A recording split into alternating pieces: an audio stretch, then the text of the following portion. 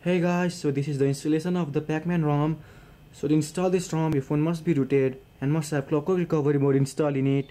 So if you don't know how to do it, just check the description box. I've posted a link on how to do it. And just download the ROM and the GApps and transfer it onto your SD card. And trans and after the transfer is complete, we must reboot into recovery. So just reboot into recovery.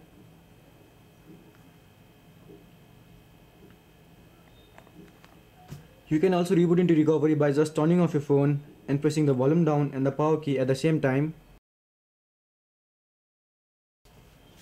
So guys, I've installed the 4ext recovery mode which is the trust-based recovery mode and it's much safer and easier than any other recoveries. So if you want this recovery just check the description box, I posted a link on how to install it. And if you're on a different recovery mode, to install this ROM you just need to do a full wipe.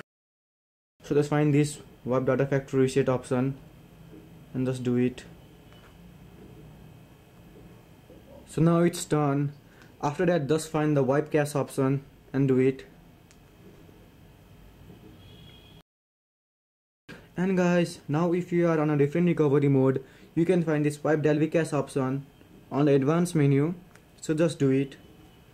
So now the full wipe is complete. So just go back and it install from SD card choose G from SD card and navigate to wherever you have stored your ROM and just install it. So it may take a while for the installation of this ROM. So now the installation is complete. So just press OK. Go back back and hit reboot now.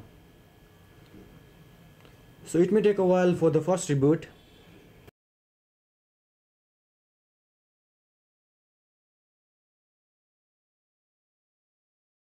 So guys, that's all about the installation part of this ROM. If you have any queries, just comment below or rate me on Facebook. And subscribe for more videos. Thanks for watching. Have a nice day.